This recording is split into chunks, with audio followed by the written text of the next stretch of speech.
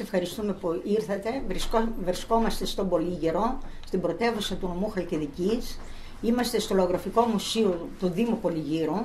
Είμαστε, είμαστε ο, σύλλο, ο Εθελοντικός Όμιλος Γυναικών, εκπροσωπούμε το, σύλλογο, το Εθελοντικό Όμιλο Γυναικών Κοινοτικής Ανάπτυξης Πολυγύρου και είμαι η πρόεδρος, η Χρυσούλα Γερικοβινού. Ο Εθελοντικός Όμιλος Γυναικών Κοινοτική Ανάπτυξης ιδρύθηκε το 1973. Ήταν ο πρώτος σύλλογος που ιδρύθηκε στον Πολύγερο και εκπληρούσε όλες τις εκδηλώσει, κάλυπτε όλες τις εκδηλώσεις του Δήμου. Το 1998 έγιναν τα εγγένεια στο Λογραφικό Μουσείο, αλλά για να ετοιμαστεί όλο αυτό το υλικό να συγκεντρωθεί, δουλέψαμε τα συμβούλια που ήταν τότε εκείνη την εποχή και τώρα συνεχίζουμε ακόμα να συγκεντρώνουμε υλικό ε, από το 1992. Στον πάνω όροφο που είμαστε τώρα έμεινε ο αείμνηστος δήμαρχος Αθανάσιος Καραγκάνης και ε, μας φιλοξενούσε στον κάτω όροφο. Κάθε απόκρια μαζευόμασταν, φέρναμε υλικά από τα σπίτια και κάναμε τη μικρή έκθεση κάτω για να δίνουμε κάποια ζωή στο αποκριάτικο γλέντι.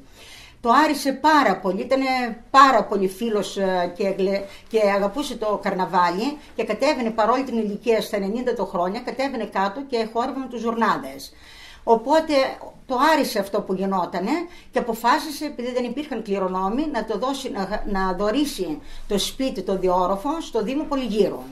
Ο Δήμαρχος τότε είπε, αν μπορούμε, να μαζέψουμε υλικό και να το κάνουμε λαογραφικό μουσείο, γιατί στη Διαθήκη άφησε να γίνει λαογραφικό μουσείο ο Ήμνηστος. Πράγματι, αμέσως στο Διοικητικό Συμβούλιο, ήμουνα και εγώ τότε σαν γραμματέας στο Διοικητικό Συμβούλιο, ε, αποφασίσαμε να το κάνουμε το λαογραφικό μουσείο και με την πρώτη ε, ενημέρωση που έγιναν στις κυρίες του Πολυγύρου με πολύ αγάπη ανοίξανε ε, τα μπαούλα και φέρανε τα καλύτερα κοιμήλια που, που βλέπετε εδώ να υπάρχουν ε, χωρίς ε, να διστάσουν με τα ξωτά, η φαντά, ε, πλεκτά, όλα είναι χειροποίητα. Ό,τι βλέπετε εδώ δεν υπάρχει να είναι έτοιμο. Είναι όλα χειροποίητα και το πρώτο που γινόταν ήταν το εργαστήρι, ο αργαλιός, γιατί σε κάθε σπίτι υπήρχαν οι αργαλοί, γιατί όλα ήταν η φαντά και μετά η μοδίστρα έραβε τις στολές, τις φορισιές που βλέπετε, είτε τις γυναικείς και τις ανδρικές, τις ράβανε εδώ στο Πολύγερο.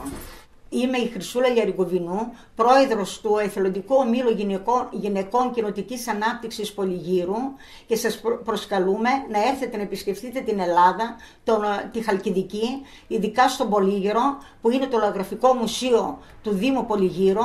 Είμαστε έτοιμες, το Διοικητικό Συμβούλιο, να σας δεχτούμε, να σας ε, ξεναγήσουμε στους χώρους και θα ευχαριστηθείτε πιστεύω, γιατί αξίζει, έχει παλιά ήθη και έθιμα, παλιές φορισιές, θα βρείτε πολλά πράγματα που θα σας θυμίσουν τα νιάτα σας.